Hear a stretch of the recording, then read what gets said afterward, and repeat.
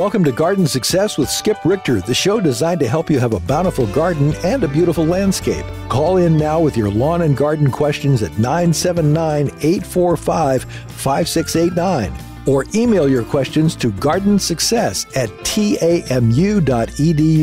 And now, Texas A&M AgriLife Extension horticulturist Skip Richter. Hello and welcome to Garden Success. We are looking forward to another show where we get to talk to you. Uh, that's the thing I enjoy most about the, the show is being able to visit with gardeners and hear what your questions are, uh, or even hear you bragging about whatever plant you grew, tomato this summer, whatever it was. Uh, it, let's, let's just do it and have some fun. Our phone number is 979 845 5689 845 5689 or by email at gardensuccess at tamu.edu. Gardensuccess at tamu.edu. Well, let's see. What are we going to talk about today? First thing, I think what we'll talk about is the weather. Um, we are finally getting into that kind of winter pattern uh, of our highs and lows that are kind of typical, and then here comes a cold front now and then to, to really send us down into some truly cold weather. There's a forecast coming up next week uh, where it's down in the 20s uh, and pretty far into the 20s. Uh, depending on whether that holds true or not, I think it is certainly behooves us to talk about, you know, what uh, what do we do to prepare for it? Because uh, probably we won't have another show before we actually experience it. Uh, cold weather is a challenge to our plants uh, when, especially when they're from uh, climates that are not typically as cold as we can get here. Uh, an ex- example of that uh, would be a fig tree. We had a email question from Matt about a fig tree. It's a young tree, about two feet tall, planted back in October. Uh, and what happens when it gets into the 20s with a fig like that? Well, uh, figs are generally um, fairly cold sensitive. For you know, it's not just a plant and forget tree here. Now, having said that, I see established figs doing amazing things. Uh, there was even a few when we went down into single digits uh, that were in protected locations, well-established trees. That the die they were killed back some, but they even had some above ground tissues that survived it. Typically, when we get a really cold uh, time, the figs are going to get killed back to the ground or near to the ground, and then they resprout from there. But when you have a brand new plant, uh, such as this new fig, uh, it's not really well established at all. And that goes true for a lot of other plants that normally would be hardy enough, but mm, not when they're not established uh, we want to do some things to protect them. Uh, there is a, a, number of things we can do. Uh, first of all, uh, you can uh, put a mound of mulch up against the trunk of the tree, and in this case, maybe make it up a foot or, or higher, and then leave it for the cold weather and pull it back when the weather warms out.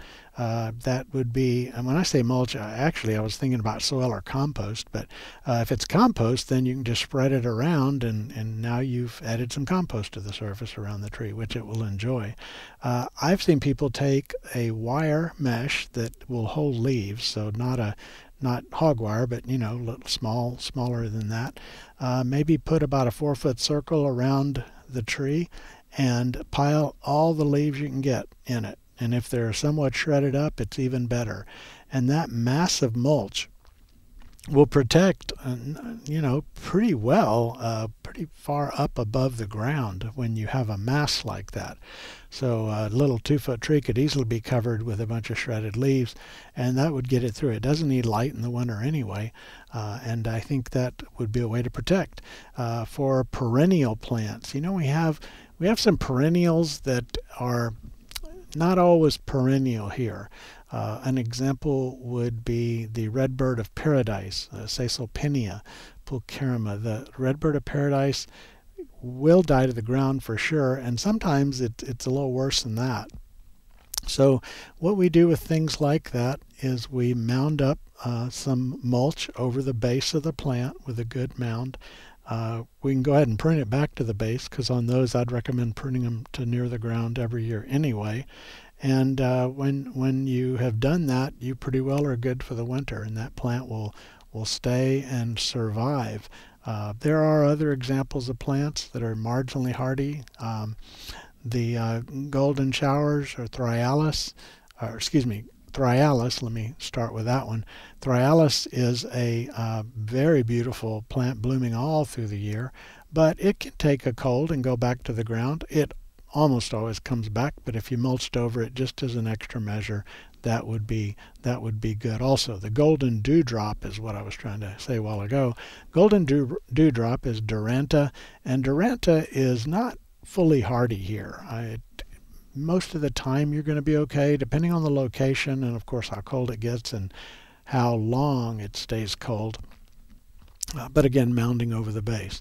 So those are all recommendations for those kinds of plants. Now people come up with all kinds of ways to protect plants during the cold, and I want to comment a little bit about that. But first, I'm going to go to the email and answer a question. By the way, our phone number 845 5689 845 5689 or by email at gardensuccess at tamu tamu.edu. Garden Success at tamu.edu.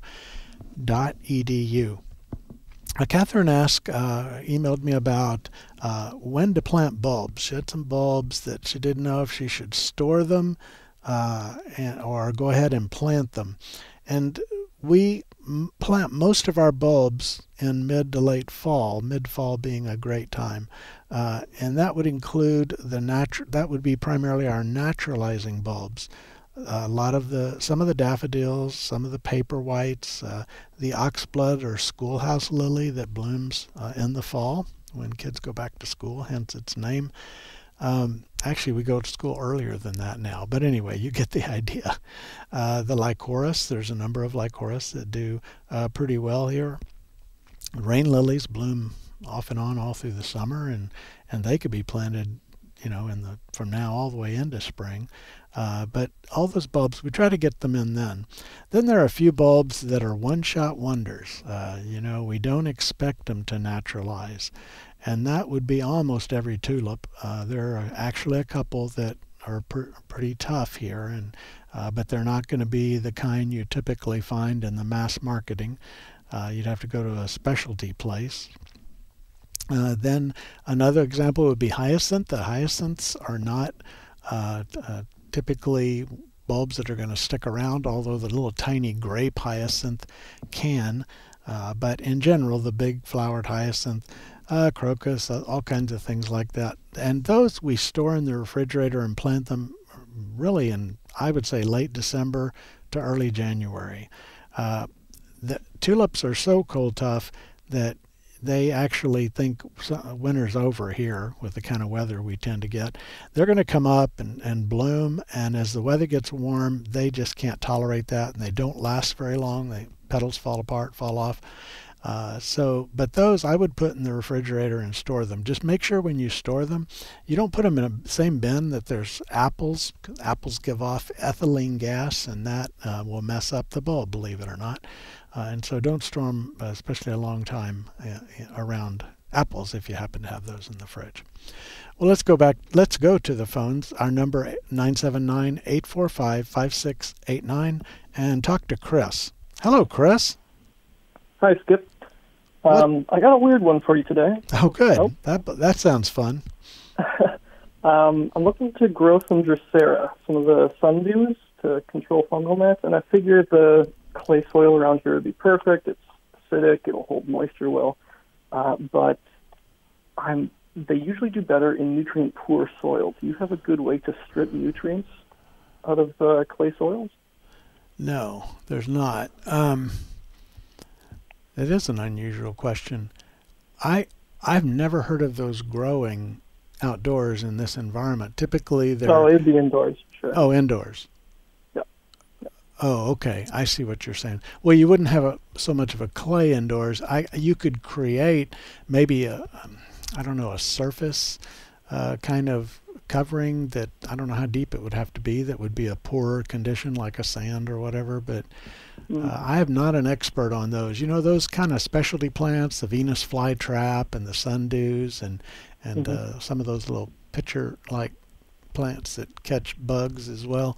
Uh, Mhm. Those are a real fun hobby, but boy, I tell you, I've never heard of using those for fungal fungus gnats, but I guess that would work. Have you have you read about people doing that? Uh, yeah, I'm I'm trying to more into some of the carnivorous plants, and I everywhere I'm reading, they're saying yeah, the sundews do great for picking up the fungal. You know, I would expect there's probably some plant society or or some place that sells those kind of uh, tropicals, insect, Mm. insectivorous uh, plants that uh, might have some advice on that. That's going to be outside my expertise, uh, but I am fascinated by those. Uh, I think that's really really interesting. Uh, have you been growing dewdrops, or excuse me, sun drops for a while? No, I'm looking to kind of get into it, and I like to use stuff that's around, so Yeah. I figured I'd try and use in So, so it. Okay, so it's not like you tried and they died and tried and they died because that happens with a lot of plants when we are trying to figure out. No, them not out. not yet. Okay, good. Well, that is good. Wow, Chris, uh, you got me on that one. Um, Oh, well. I, would. Sorry about that. I'm, I'm kind of curious. No, that's okay. I now you're going to have me go learn something else. Uh, I would. Uh, I would like to know more about what they need. I didn't realize that they need a nutrient poor. I would think they could grow in, you know, kind of a some sort of a potting mix, but that just without nutrient added. I know that Mm. peat, for example, is there's essentially no nutrients that plants are going to get out of peat, at least in in the reasonably long term. Uh, yeah. So and maybe stay wet and be acidic. yeah, it stays moist, which they would like, right? Uh, Mhm. and so I might do a little peat heavy mix. But Okay. are you talking about putting a plant next to your other house plants? Oh, I mean, you know how you have your windows that are just full of your pots, and hmm I figure I'll have them in a similar area. Yeah. Well, um, other than the fun of a sundew, uh, the fungus gnats can be controlled with a specific type of BT, which is an organic product. Normal BT kills caterpillars, uh, but there Mhm. is a BT for fungal gnats, fungus Oh. gnats, and oh my gosh, not Kurstaki, maybe Israelensis. Uh, that may be the one for mosquitoes. Do you happen to know? I don't. Oh, okay. uh, dig into that one. Yeah, but there is a BT, which is a you know very essentially non-toxic or organic type thing that would help control those nuts too, as would uh, not not watering as much or putting Mhm. something on the surface that stays dry, like a I don't know, you don't want to put gravel around every, all your little house plants, but something where the surface is not staying moist. hmm Okay. All right, Chris. well, call back and tell me how these things do and, and what you learned sometime. I'd, I'd like to hear that. Will do. Thanks. All right. Thank you for the call. Our number 979-845-5689, 845-5689 or by email at gardensuccess at tamu.edu. Gardensuccess at tamu.edu.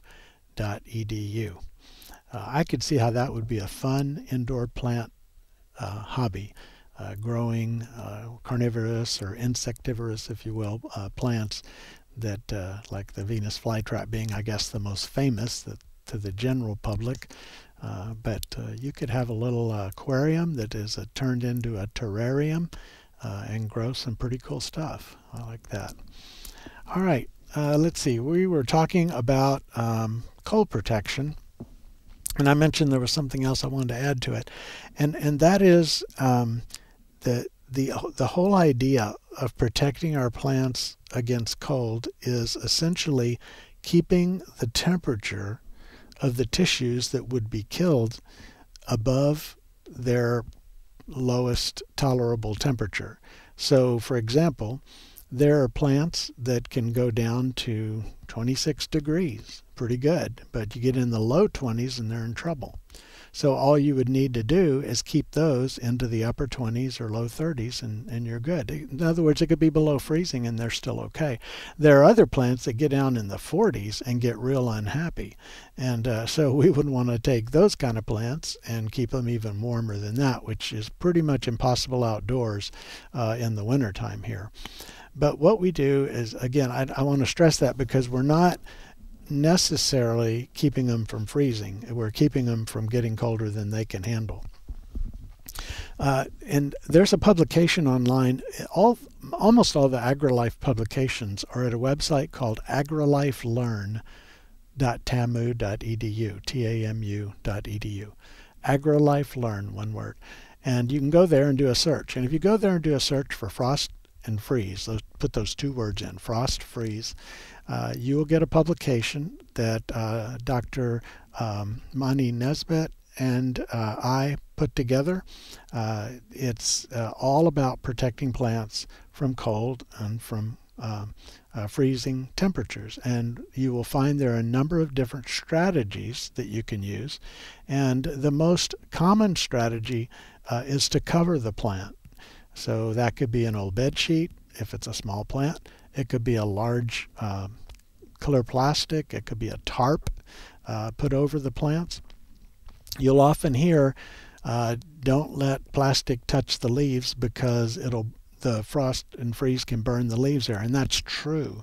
But if you're trying to save a citrus tree, it is an acceptable loss to lose the leaves that are touching the plastic on the outside uh, if you protect the whole tree. So I, I, wouldn't let I wouldn't take that plastic concern too far. But yes, aesthetically that that is going to be a problem that's going to happen. Uh, but when you cover a plant, you want to cover it to hold the soil heat in. So instead of um, cut, wrapping it up like uh, a landscape lollipop, uh, you want that cover to drop to the soil. And I've talked about this before, but I know we have different folks that listen at different times. Uh, but drop all the way to the soil and then secure it to the soil. That may mean covering the edge with soil if that's practical for the site. It may mean setting cinder blocks or whatever, uh, logs on the edges, whatever holds it down, because sometimes we get cold and we get a breeze, and those are especially difficult cold snaps to protect plants during because it is essentially supercooling or cooling rapidly, I should say, uh, the plant tissues. And there, there's just uh, it, we lose a lot more uh, plants in that kind of cold than in a very still cold night. The plastic can keep the air from moving through. The soil on a cold night radiates its warmth, relative warmth that is, upward toward the sky, and that warmth that's being radiated upward uh, can help protect the plant underneath the plastic cover. Uh, soil, you know, maybe 50 degrees in the soil, or even a little lower, and you're still getting some warmth that's that's coming up from the soil. If you have bare soil, that's even better because it really warms up when the sun shines uh, during the day. Uh, when that's not enough, and it often is enough, by the way. In our vegetable gardens, it's usually enough because we're growing cold, hardy vegetables in winter. We're not growing a tomato in the winter. Uh, but in, in, uh, if that's not enough, then we can add a source of heat underneath the cover. And how we do that is really important uh, because uh, when you add electricity and you have an extension cord and a plug and a bunch of dry grass, there's a lot of things that can go wrong, as you can imagine there. So we want to be very careful with those electrical connections. We also uh, want to be aware of the fact that uh, our heat source can damage the plant if it if it heats it up too much. So if you used one of those uh, infrared heat lamps and you put it, you know, a few inches away, shining right on the trunk of your citrus tree, you're going to get some some damage uh, on the tree from that. So you want to use your light uh, and point it downward. And generally, you don't need to use an infrared heat lamp because all we need is a few degrees typically uh, to protect. and so we could use a 150 watt or 100 watt incandescent bulb. You can put them in one of those plastic, uh, excuse me, aluminum shields uh, that has a clamp on it so you can attach it to something, you know, the kind I'm talking about. Uh, and I'm, by the way, another reason I'm talking about this this week is because if you go try to find one of those for sale uh, the night before the freeze next week, you're, you're going to find they're gone already. So here's your chance.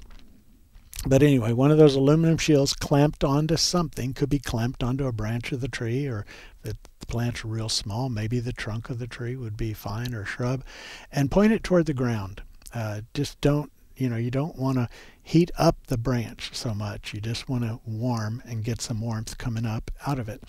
And it'll do that, and it'll make a huge difference. I've not tested how far down you can go, but you can go a long way in terms of temperature. If you've got a still airspace. Wind can't displace that warmer air. And uh, you've got the, the cover over it. Uh, you can protect a lot of things. So keep that in mind. For most people, that is not what they're going to have to do. Uh, some of you are fortunate enough to have a nice little citrus tree in the backyard or something else worth protecting. Uh, but most people are going to throw blankets and sheets over, and that's just fine because it accomplishes the same thing. The other thing that happens with like a blanket or a sheet is uh, frost forms when the surface of whatever is down there, the, the ground, uh, radiates its heat out. And the temperature of the grass underneath or around your landscape, the temperature of the surface leaves of whatever plants you have actually get colder than the air around them because that radiated heat allows the tissue to drop colder. So it's not just the temperature of the air, it's the additional fact that that tissue drops down because it's up on top exposed to the, the sky. Uh, and on a, on a cloudless, cold, cold night, that radiates heat out and frost, moisture from the air forms on that plant. And that is what uh, causes that frost damage. Uh, and it's interesting because if you have like uh, when we have a frosty night, next morning you're early driving around town, look where there is an evergreen tree like a live oak, and look at the ground in the yard, and what you'll see is the yard has frost on the ground the grass, but underneath the live oak tree with that canopy that is not it's reflecting radiant back down again uh, and protecting that it you don't have the frost form there so it's another thing that a blanket can do. Uh, it can protect uh, that frost formation. Now, again, if you're trying to protect uh, uh, some plant that uh, you don't want to lose the outer leaves on, uh, the plastic is not going to be a good way to go. Something that, that I do and a lot of people do is make a frame around the plant. If you've got a citrus tree, you're going to be protecting it for years. And so make a frame that you can store and get back out again. One of the easiest ways to do that is to use PVC pipe. There's a lot of fittings that you can use with PVC to create a frame. You want a pretty sturdy PVC, at least an inch uh, in diameter. Uh, to make that frame bigger is even better. Uh, I sometimes will just make arches over and it sort of creates an igloo looking structure. So that would be another option for that. Some people build them out of wood, out of 2 by 2s or 2 by 4s 2 by 2s usually enough, uh, and they create their box out of that and then they just bring it out when it's winter time, get it set up. So on a cold night, they can throw something over it, and then they're done. Uh, they're done with that. So anyway, those are some tips on uh, cold protection. Uh, get ready ahead of time to, to do the kinds of protection you need to do. You will see a lot of other options out there uh, that, that people use or that typically commercial uh, folks use uh, in, a, in an orchard such as spraying water out on the plant. That is a whole nother monster, perhaps one just out of curiosity we can talk about. But let me just let me cut to the chase and say don't spray water on your trees. Ice does not protect them. It doesn't. It's it's the transformation from liquid to solid that protects them. Uh, and so you can have, if you have icicles all over your branches and plants and uh, you stop spraying water, uh, it is going to just get as cold as it's going to get. And, then, in fact, and the next morning when it starts to melt, uh, it'll get colder inside. Uh, the inside is that, remember I mentioned that the liquid change to solid, uh, that process provides a little warmth. Solid changing to liquid removes a little warmth. And so you can supercool the inside of those ice covered plants and supercool their buds uh, the next morning. So don't use water. There's other issues with it. Uh, breakage of branches, soggy, wet conditions that take forever to dry out. Don't do that. But there are ways we can protect our plants. Uh, I want to go back to the email. And uh, by the way, our phone number is 845 5689, 845 5689, uh, or by email, gardensuccess at tamu.edu garden success at tamu.edu. And Ann asked a question that I think is a is a great question. It, it's one that uh, that uh, I need to really talk about, and that is how do you set up a system for starting seeds indoors so you do it successfully? In other words, how do I grow a good, stocky, healthy transplant inside? Uh, because once we get to about January, we're going to be somewhere in there uh, starting seeds for our peppers and our tomatoes and other things, and they'll have to spend some time indoors uh, before they're, it's safe to plant them outdoors. Well, first of all, the number one problem that we have in trying to grow transplants is a lack of quality light. Now, our eyes see light uh, the the um, um, wavelengths and things uh, are, are pleasant even when the wavelengths are not suitable for plants. So we can have cool, warm, a uh, cool light, warm, warm light, uh, you know, from the blue to the red uh, spectrums, uh, and create all kinds of different settings inside the house or moods, if you will, uh, in, in, the house uh, for different purposes. But the the plants themselves need light primarily in the blue and red wavelength, but they really need they use a lot of other wavelengths they can, but primarily the blue and red are the wavelengths that plants need most importantly. And human lights are not made for that and they're just not. And so you need a plant, a light that's made for plants. We have a lot of good LED lights out there uh, that are designed for plants. There are also some uh, fluorescent type lights that are designed in a way that creates the wavelength that plants uh, need. So you need you need that kind of lighting wavelength for plants to do their best. Now for transplants, uh, it is especially important to have the blue. Uh, the red is more important if you wanted to grow a tomato all the way to having fruit indoors.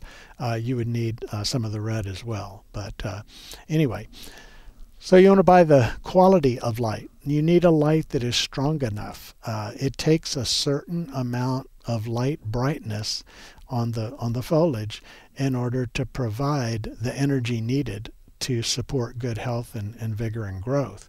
Uh, and what looks bright enough to you is probably not bright enough. The windowsill where we always start our plants is typically not bright enough, especially in the winter season. The sun's traveling low and the lighting is different.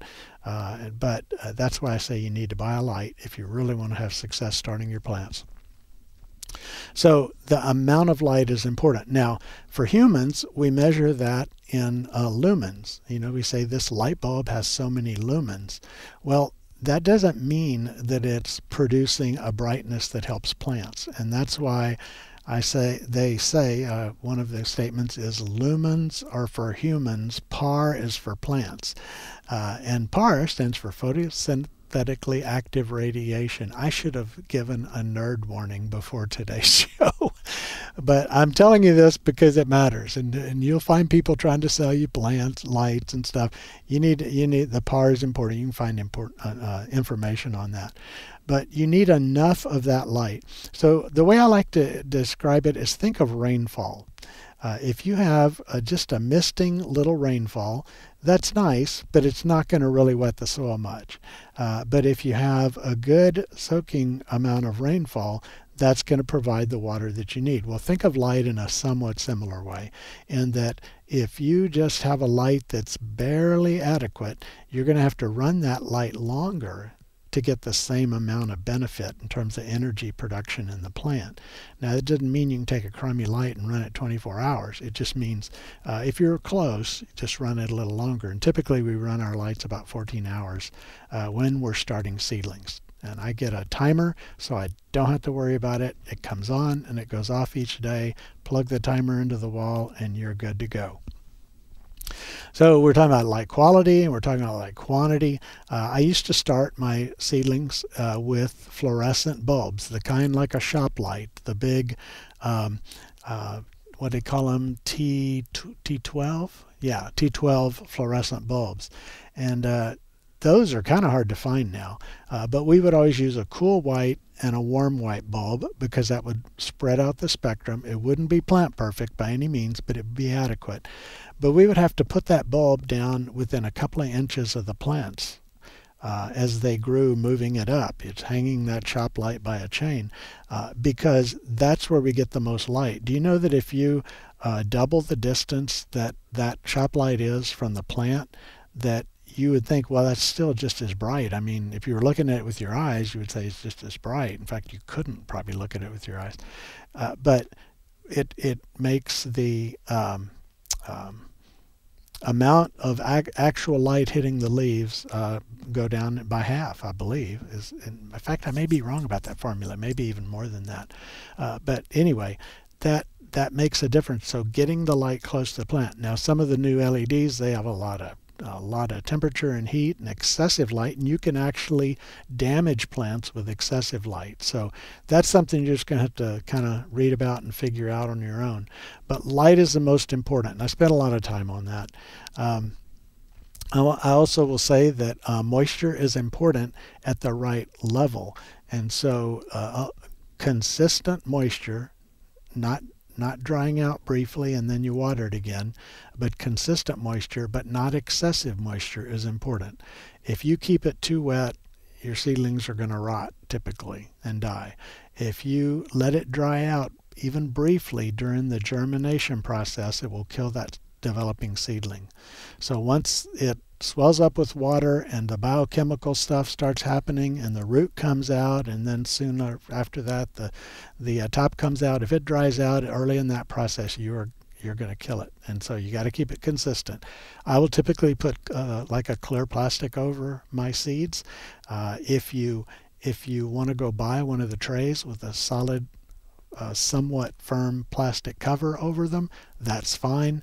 Uh, you can also just get a dry cleaner bag and in your put something to hold the bag up off the top of the flat of seedlings that you planted.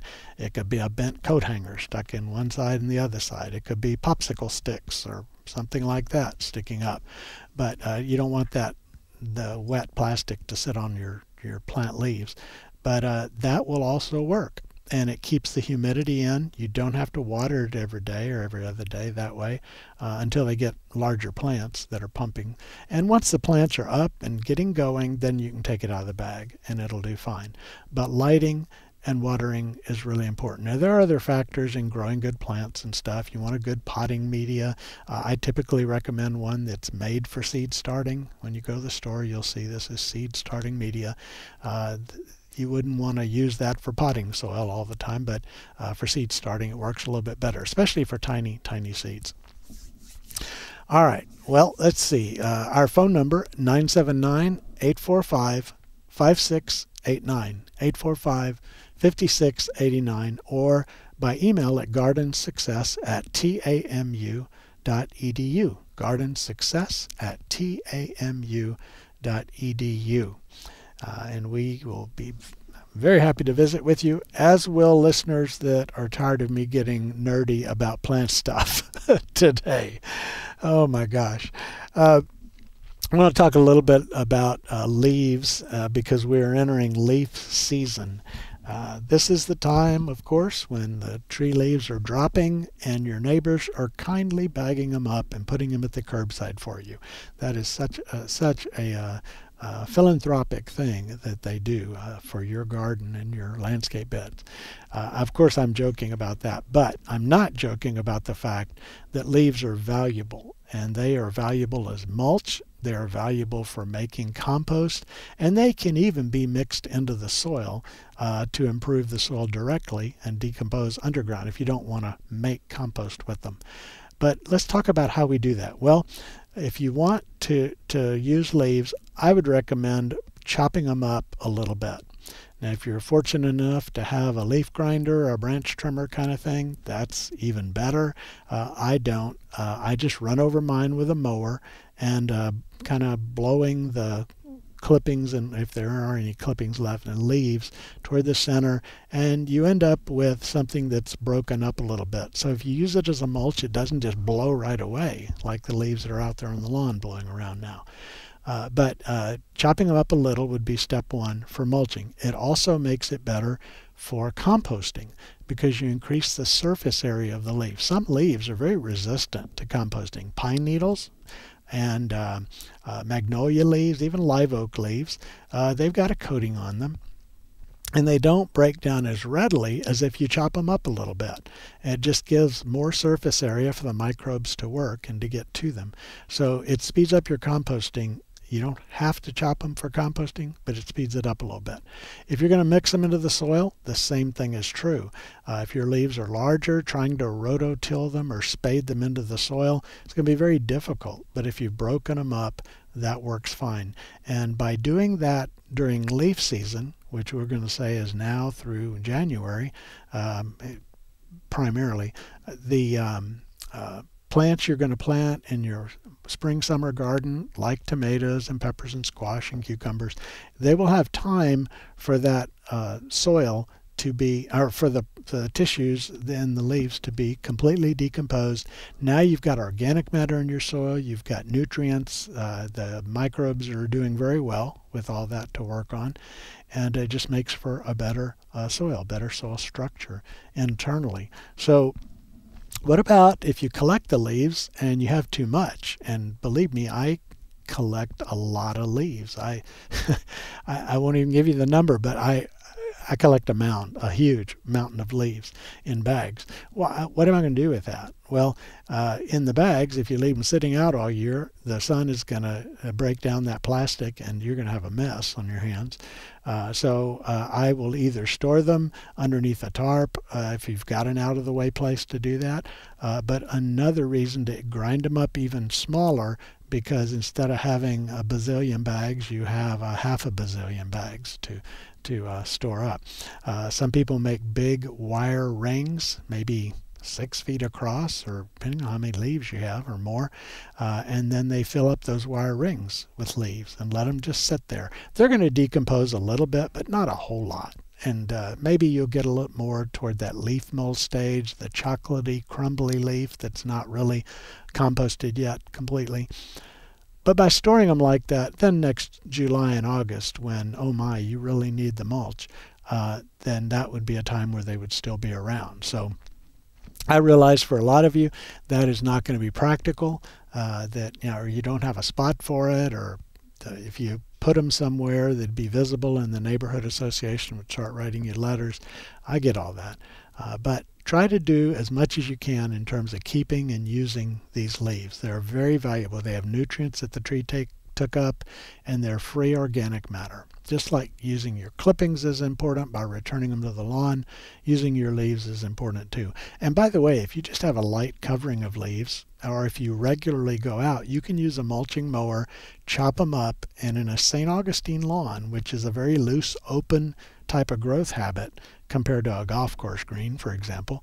Uh, in a typical St. Augustine lawn, mowing over them with a good mulching mower, they disappear. They go right down to the surface and they will decompose down there. Uh, and I have I've had leaves so thick that you could not see the lawn and they mulch right away. It's like you're vacuuming them up when you go over them with that mower.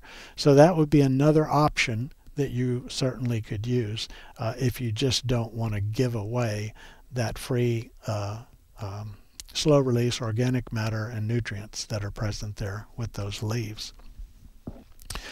Uh, let's see. That was uh, talking about uh, the leaves. Oh, one one other thing. Sometimes I get questions about what if the trees had diseases like fungal leaf spots or bacterial spots on the leaves. Well, I'll just say, you know, you can never say uh, something that has no exceptions. It's very difficult to, but uh, I will say, by and large, uh, without enough of an exception to have a concern for you, don't worry about it. Uh, number one, if you compost them, that process is going to deal with a lot of the disease right there, especially if it heats up well.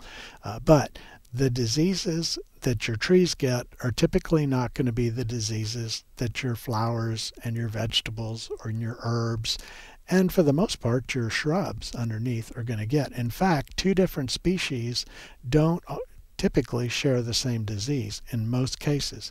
So your rose can get powdery mildew, uh, your uh, Turk's cap can get powdery mildew, and your crepe myrtles, if they're not resistant varieties, can get powdery mildew. But the powdery mildew from your crepe myrtle is not going to infect your rose. It's a different strain, and you don't have to worry about that. So get the leaves and use them.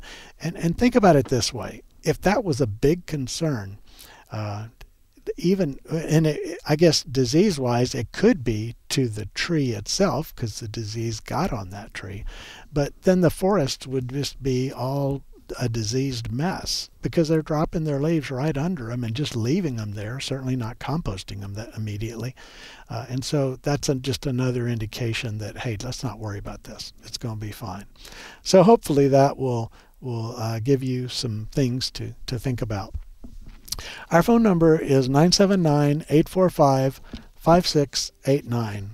979 845 5689. Uh, we had an email, which is gardensuccess at tamu.edu. Uh, we had an email come in from Wes asking about is there a place around this area to buy pine straw for landscaping? Well, if you're listening, please call in and let me know where that is. I think I may have seen it before, but I can't really remember what that where that is.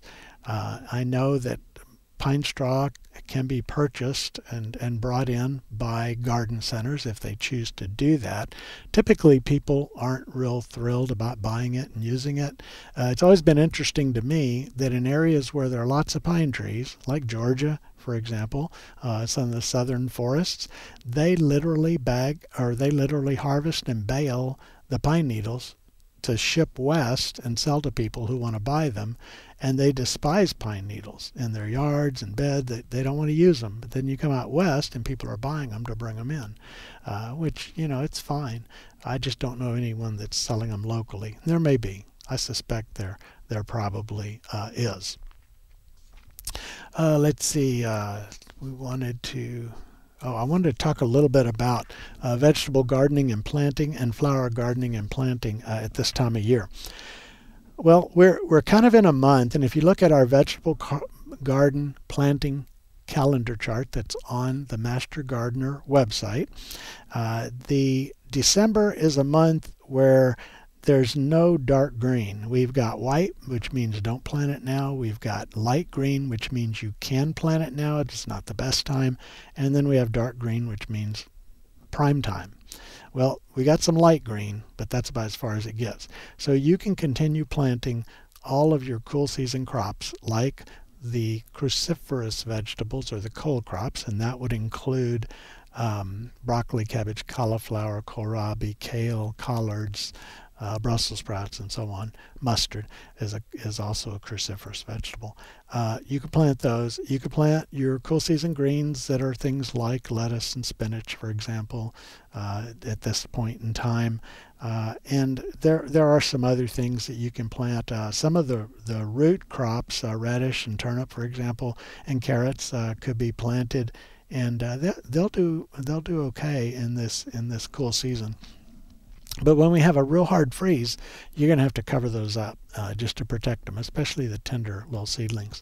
Uh, but you can keep planting them during this time. When we get into January, first of the year, that's when we really start uh, planting all of those cool season vegetables again, but we have a lot of the prime time for them then. And the reason for that difference is that let's say broccoli. We typically plant it September, mid-September through mid-October being the, the best time uh, to plant it. And that broccoli plant will grow very well in the milder days of mid, after mid-October, for example, uh, and November when it really gets milder. Uh, and so you end up getting a good harvest, a bigger plant and a better harvest a little earlier.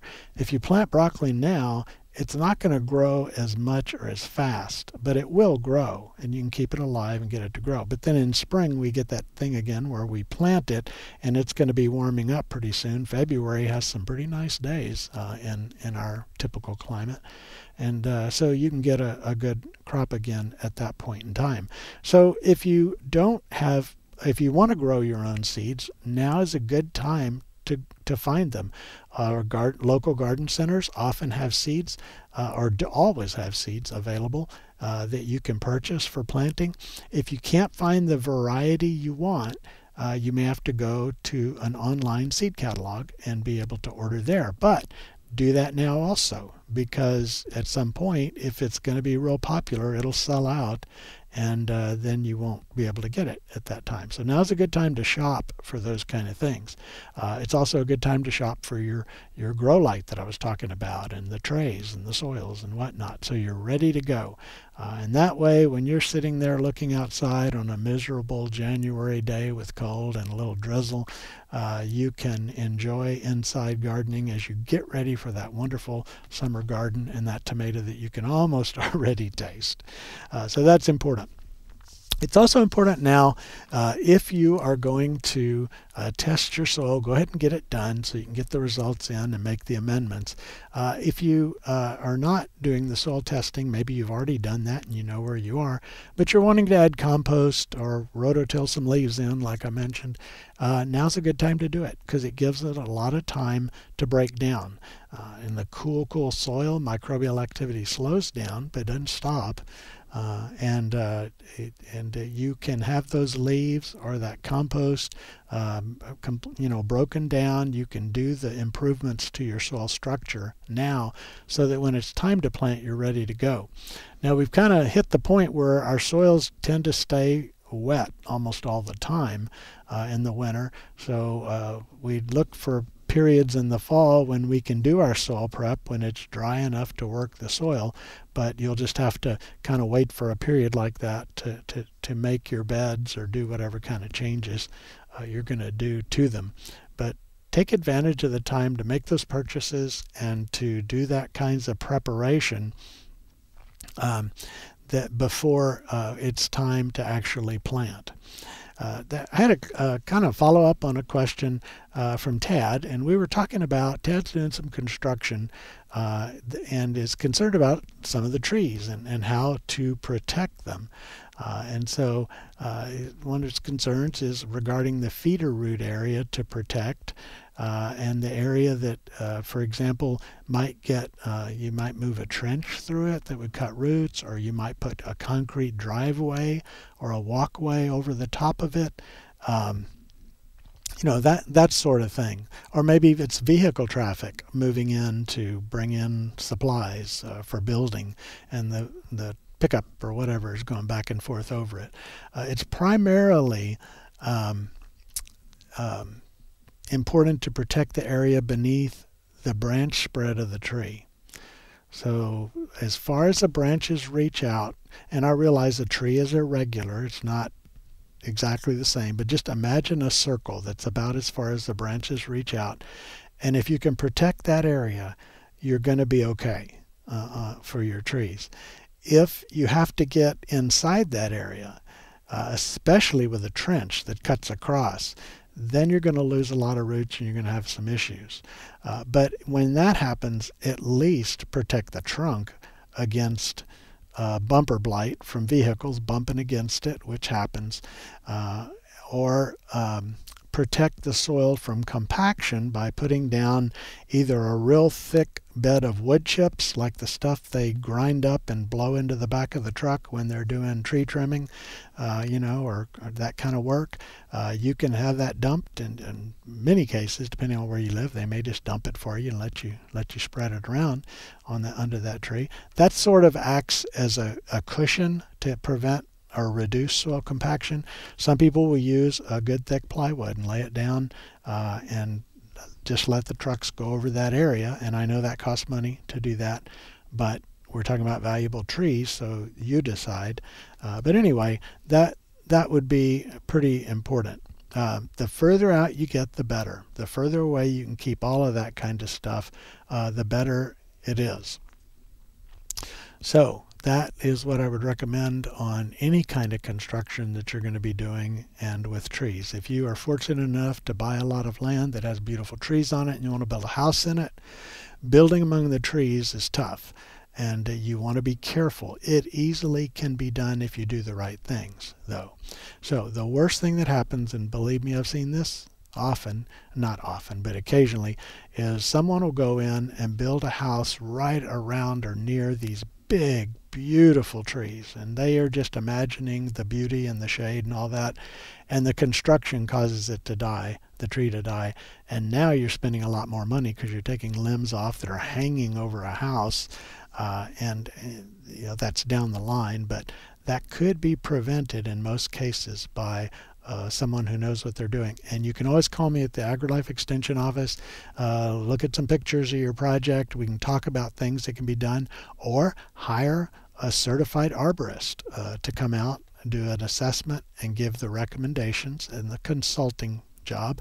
Uh, and that is well worth the money uh, to do when you think about the value of the trees, and not just the value of the trees, but the importance to the aesthetics, uh, and even the air conditioning temperature if you're wanting it to help shade your roof and cut down on, on that a little bit. Boy, we're talking about a wide range of things today, uh, but uh, if you want to give us a call, it's 979 845 5689. 845 5689 or by garden success at gar, or excuse me, or by email at gardensuccess at tamu.edu.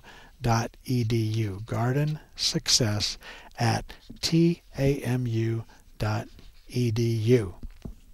Also mentioned that I was going to talk about flowers, so let's uh, let's do that. Uh, our cool season flowers uh, are a way to kind of get the winter doldrums uh, to, to, go away and enjoy some beauty during the cool season. Uh, there are a lot of wonderful warm season flowers, but when it gets cold, we still want to have some color. So uh, we have a number of flowers that are marginally hardy, and they will help us in the cooler seasons, but not in the coldest cold. They, they're going to have to be covered up for that.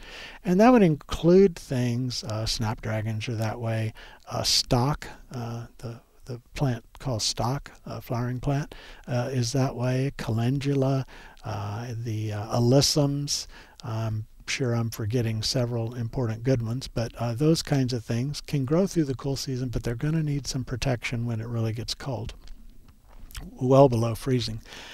The uh, hardier things would be things like ornamental cabbage and kale, and these are the ones that they sort of look like uh, ornamental. They look like uh, kale in the plant growth habit. Uh, but they will have, in addition to the bluish green leaves, they will have beautiful magenta uh, to uh, pinkish, uh, purplish colors in them, depending on the variety, and even white, beautiful white. Uh, and so they're quite ornamental as they are. Some of them even will uh, bloom in the spring and send up a tall stalk with yellow flowers that I think is really beautiful. So you can leave them around a little extra long for that. They're very cold hardy. They do very well. Uh, they have the same issues that uh, our vegetable cruciferous uh, uh, crops do, and that would be things like looper caterpillars, for example. Uh, I think black rot that affects the foliage can affect them as well. So the other thing are the pansies and, and the violas. Pansies and violas are very cold hardy. Uh, pansies are beautiful. They got bigger flowers. Violas have smaller flowers. I prefer the violas because after a rainstorm, the pansies get pretty beat up but the violas don't as much, and they produce so many flowers that it's hard to even see the foliage. Uh, and you can pick them in individual colors. So if you want one that's a couple of shades of blue or a couple of shades of orange, for example, you can have that and you can combine those colors in the way that you want to and uh, just want to make sure they all these things have adequate nutrition during the cool season. That doesn't mean a big dose of fertilizer. It just means a little boost, especially nitrogen, uh, during the cool season here and there to keep them vigorous. Uh, remember that our modern varieties are bred to bloom, bloom, bloom, and they'll literally bloom themselves to death just about. Uh, I see that with uh, petunias as well. Uh, we're cutting them back a little bit uh, and getting some new fresh growth and foliage. That's where the nitrogen helps out. Some vigor uh, will get you a new set of blooms on, on some of these things that, that uh, will help keep that season going. But don't uh, let the winter go by without enjoying uh, some cool season color. And Dusty Miller, by the way, is silvery and looks really good with bluish colored uh, violas, for example. Uh, and it's pretty cold hardy too. It kind of goes in the first group, though, uh, not completely cold hardy. Uh, but that would be another one that would give you some beauty as well. Uh, let's see, I also wanted to mention uh, that we were talking about the nutrients in the vegetable gardens. That is also important. Uh, small amounts of nitrogen nutrients periodically to keep those things growing, with the exception of cool season peas. And over, you don't want to overdo it on your root crops, such as carrots, uh, for example. And you get a lot of top growth at the expense of root development. Uh, crowding and excessive nitrogen can both cause the spindly little things that never developed a good carrot, for example, for you. So be a little careful uh, when you're using those out there. Well, I hope you enjoy yourself out in the garden. Uh, get out and get these things done this week before it gets really cold next week. Uh, have a good weekend out in the garden. We look forward to talking to you each week on Garden Success. Uh, tell your friends about the show from 12 to noon every Thursday, and you can also listen to us online. You can listen to past shows online, and we now are available on a number of the different podcast providers where you can listen to past shows, even driving down the road in your car. See you next week.